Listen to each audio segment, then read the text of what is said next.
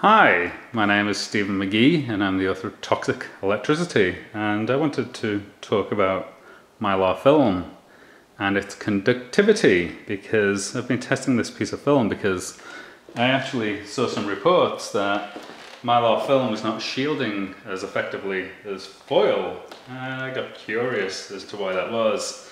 And this is one of the tests that I put together to understand that. So We've got a 9 volt battery right here. The positive is connected onto the foil surface. This is the conductive surface that is up.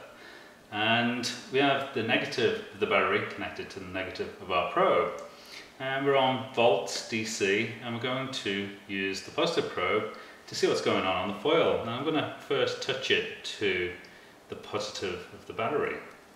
So as you can see our battery has 9.48 volts on it so we should have the same on the foil and indeed we have a very similar voltage on the foil. But the interesting thing is the further you get away from the connection the more that voltage drops on the foil. And you can see it right here. So over here I only have one volt. I'm only a few inches away, now it's gone back up to 9. If I go further over here, you can see it's less than a volt. So it appears that mylar film is not as conductive as foil. In fact, it's not a very good conductor at all. And this is sold as first aid space blankets to keep people warm in emergencies. It's not actually sold as an electromagnetic shielding material. So if you don't have any electromagnetic shielding specifications for your mylar film.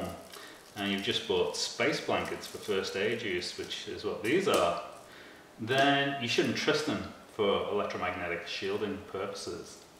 So I'm quite sure there are types of mylar film that are actually sold specifically for electromagnetic shielding.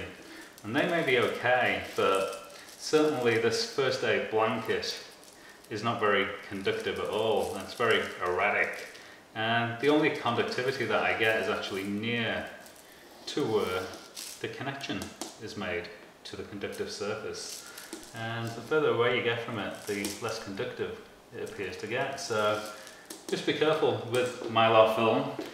It's uh, an interesting material to play around with, but it certainly this sheet, it doesn't appear to be very conductive at all.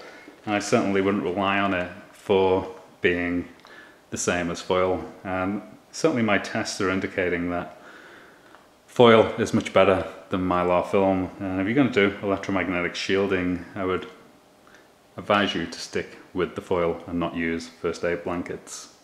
That was the purpose of this demonstration. I hope you enjoyed it and I wish you the best of health. Thank you.